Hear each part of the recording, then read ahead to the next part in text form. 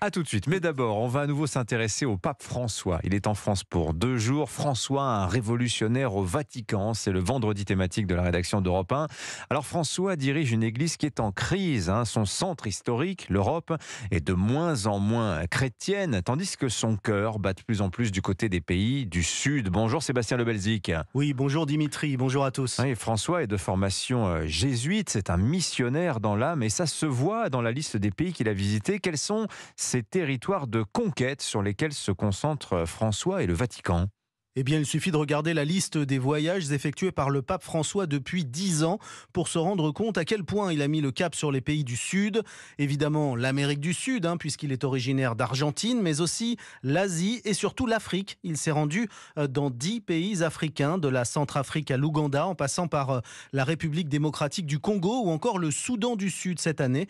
Le pape François, c'est l'homme des missions en terrain difficile, quand Benoît XVI, lui, n'avait fait que deux voyages en Afrique pendant son pontificat Écoutez Emmanuel Linco, professeur à l'Institut catholique de Paris. Ça va dans le sens de l'histoire, tout à fait évident. Ce sont des régions du monde qui se catholicisent, qui se christianisent plus généralement ce qui n'est pas euh, le cas, on le sait, euh, de l'Europe. Donc il y a une asymétrie, si vous voulez, dont tient compte évidemment le pape. Et je ne serais pas surpris que le prochain pape soit euh, originaire soit de l'Asie, soit de l'Afrique. Mais pourquoi cette volonté personnelle de François et plus généralement hein, de l'Église catholique bah, de s'ouvrir à d'autres horizons?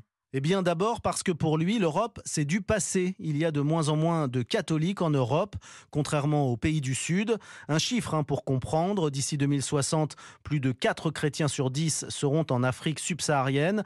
L'Afrique a la population catholique qui augmente le plus rapidement au monde. L'objectif du pape François est double. D'abord, apporter un message de paix et de réconciliation dans des zones de guerre comme le Soudan du Sud, mais aussi ne pas laisser le terrain aux missionnaires protestants, développant dans ces pays, par exemple, euh, des dispensaires, des écoles ou des monastères. Et plus surprenant peut-être encore, c'est l'intérêt de François pour la Chine. Euh, le pape veut en effet, euh, Sébastien, réconcilier le Saint-Siège et la Chine communiste?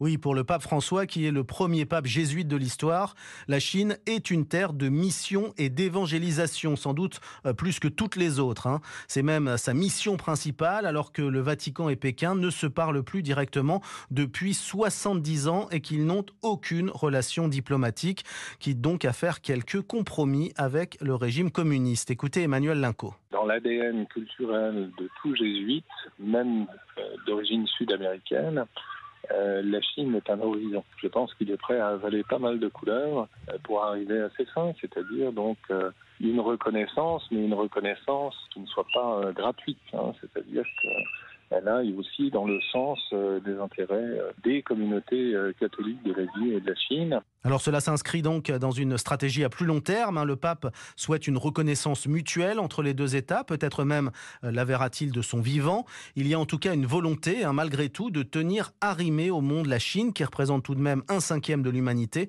d'autant plus qu'on y compte de plus en plus de convertis, 12 de catholiques et 50 millions de protestants. L'enquête du grand reporter européen Sébastien Lebelzik Merci beaucoup Sébastien, il est 7h46.